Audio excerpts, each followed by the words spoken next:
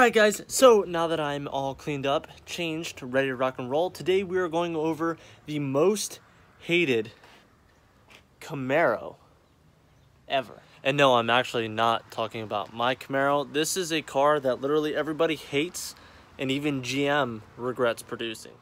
But then again, a lot of people do hate the Dale Maro, but luckily, Dale Maro's not going to stay like that.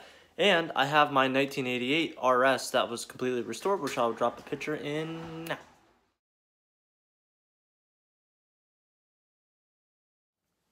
So when you think about like why a Camaro would be hated by everybody, you would think that A, somebody riced it out or put like a stupid body kit on it or something like that. And I'll put some pictures of cars that are like that, which obviously are hideous. But GM actually produced one. Ah!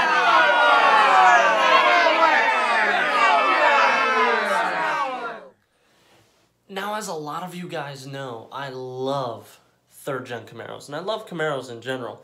But when they first came out with the third gen body style in 1980, excuse me, 1982, they actually came out with a four cylinder Camaro that had 90 wheel horsepower. So I'm going to post a bunch of pictures of the Iron Duke. That's what it was. It was the Iron Duke engine that was used in like a lot of like S10s and like all sorts of different things.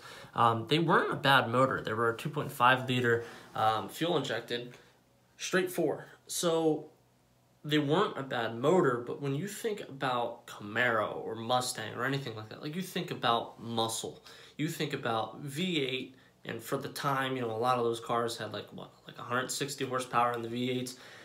They weren't power demons in comparison to today, but back then they were decent power numbers. They were quick, and a four cylinder in a Camaro was like buying a Prius if you want to put it that way.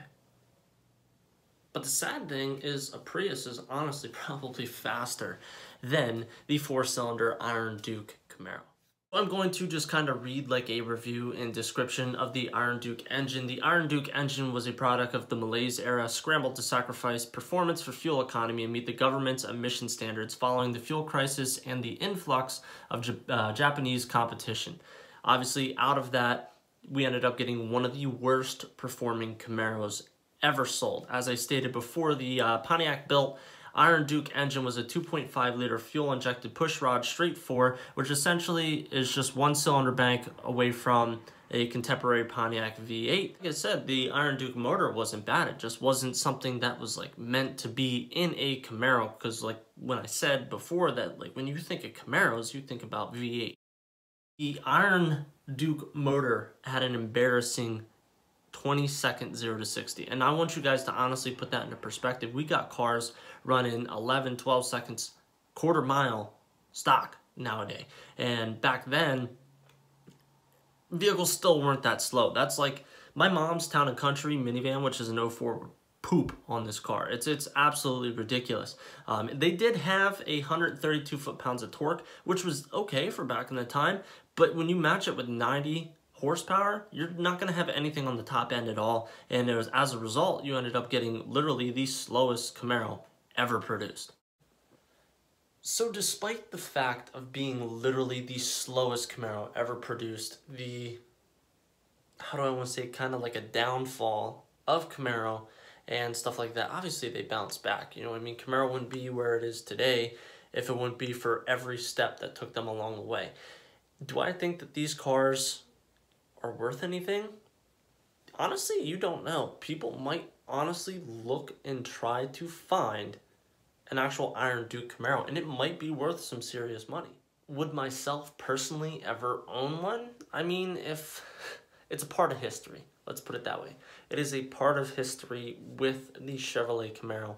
Obviously, GM did it with the full intentions of everything that was going on economically, and competition wise, obviously you had Japanese vehicles coming out with good fuel mileage and and GM wanted to stay on top of the ball and I just don't think it should have been put into a Camaro. Now obviously today we have four cylinder Camaros that are boosted. We have, you know, obviously six cylinder Camaros are still a thing. Eight cylinder Camaros are still a thing.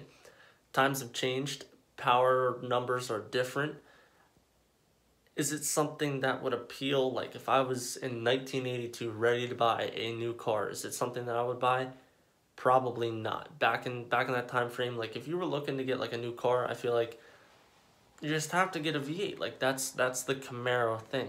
It's like the four cylinder Mustangs that were out for a while with I think the 2.3 liter. They were garbage. Like they were literally trash. Like they were not fast at all. But if that's something that you're looking for, go for it. But in today's world, if you're gonna have a Camaro, if you're gonna have a Mustang, you gotta go with the V8.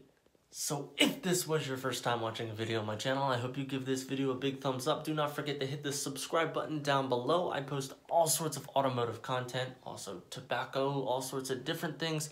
Um, we do a lot of four-wheeling, snowmobiling. I have, obviously, I have a Duramax. I have an LB7 Duramax. I have two third-gen Camaros and a four-door Jeep. I'm actually looking to get a third vehicle, a vehicle for me to daily. I've teetered the idea of a Cobalt SS, a LT1 Camaro, an LT1 Vette, a C5 Vette. The doors are open and I am looking. So if you guys stumble across anything, send it my way, whether it's on here or on Instagram at Snussycopen. Till the next time, guys, Merry Christmas and see you.